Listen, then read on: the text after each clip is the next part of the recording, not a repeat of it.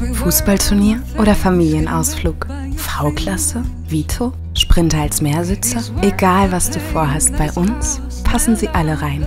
Dein Mietwagen zum Discounterpreis.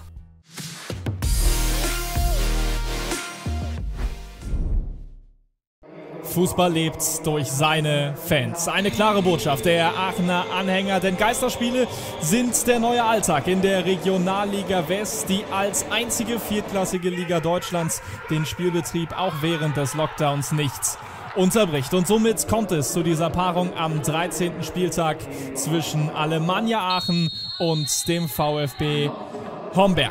Rein ins Spiel. Die Gäste in den gelben Trikots starteten so. Hier mit dem Ballverlust und der flog ihm direkt um die Ohren. Hereingabe in die Mitte und Hamdi Damani mit der 1 zu 0 Führung für Alemannia Aachen. Es ist der fünfte Saisontreffer im siebten Spiel für Damani, für den Neuzugang von Rot-Weiß Essen, der damit sein Team auf den Weg bringt, auch das siebte Spiel in Folge ungeschlagen zu bestreiten. Die Gäste aus Duisburg im Tabellenkeller lokalisiert und zudem durch zahlreiche Corona-Fälle personell gebeutelt mit der besten Möglichkeit des ersten Durchgangs. Hier der Abpraller von Keeper Joshua Mroos und dann der Nieranke mit der Möglichkeit. Mroos stand auch danach kurz im Fokus, indem er diese Homberger Möglichkeit einleitete, dann selbst aber auch wieder entschärfte.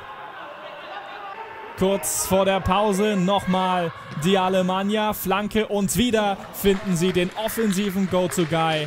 Hamdi Damani, der hier allerdings knapp links am Tor vorbei köpft. Das Spiel geizte, alles in allem mit offensiven Möglichkeiten. Der Pausenstand ist dementsprechend dem Spielverlauf entsprechend.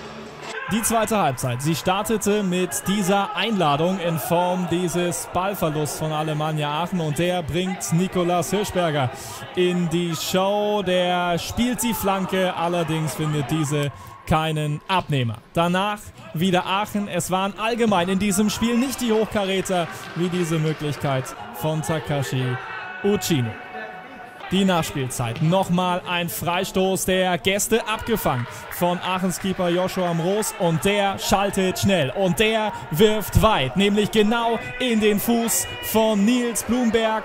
Kein Abseits, weil er aus der eigenen Hälfte startet und somit netzt er ein zum 2 zu 0. Erster Saisontreffer, er überwindet Keeper Philipp Gutowski hat viel Zeit zum Nachdenken, lässt sich dadurch nicht beirren und sichert somit den Dreier für die Alemannia. Kurz darauf pfiff Schiedsrichter Mark Jäger auch ab. Die ungeschlagen Serie der Gastgeber kann sich sehen lassen. Es sind jetzt sieben in Folge die Stimme zum Spiel. Das war eine hart umkämpfte Partie, muss man sagen.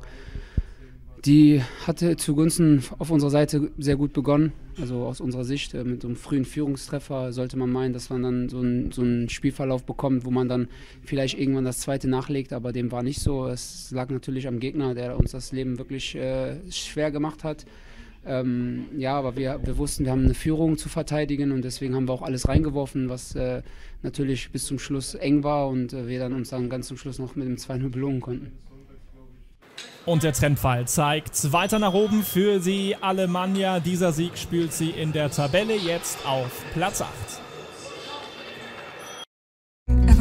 Einmal durchlüften bitte, aber mit dem richtigen Cabrio.